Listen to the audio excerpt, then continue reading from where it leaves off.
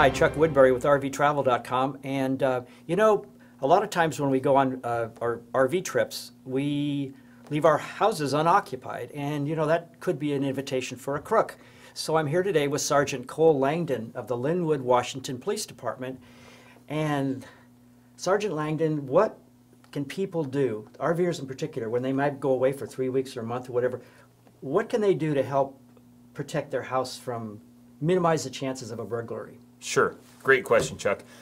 One of the first things you're going to want to do is you're not going to want to advertise that you've left the area. So your Facebook page is getting on there, you're going to want to be aware of who is monitoring your Facebook page. If it's private, you're probably okay, but understand friends of friends, word can spread. So if you're spreading the word that you're on vacation, you're taking pictures where you're down at the Grand Canyon, it's going to spread pretty quick that you're not home. Next thing you can do is leave a car out in the, in the driveway so it appears as though somebody is there. Having somebody even spend some time as in a house sitting type of role would also be helpful for you.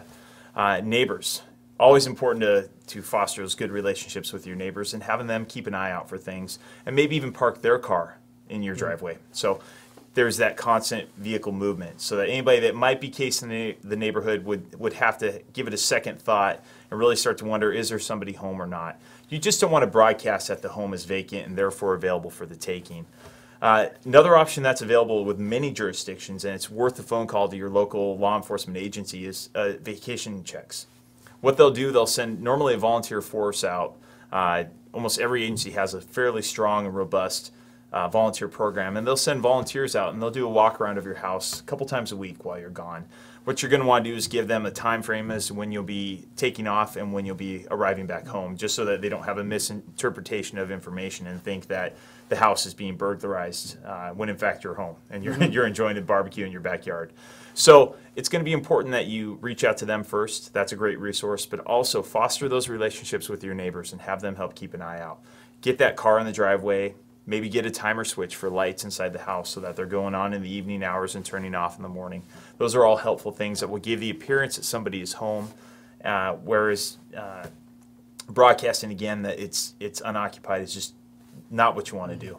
Yeah, you see people that leave their don't cancel their newspapers and they've got right. four or five newspapers. Now, someone once told me, maybe this is extreme, but they said, put uh, uh, plants with stickers under around your windows. Nobody will climb through those things. But that's kind of extreme, right? I that mean, you know, if it, there are passive landscaping type options that you can that you can look at, uh, but for those people who don't have that in place, and that might very well be effective as a deterrent.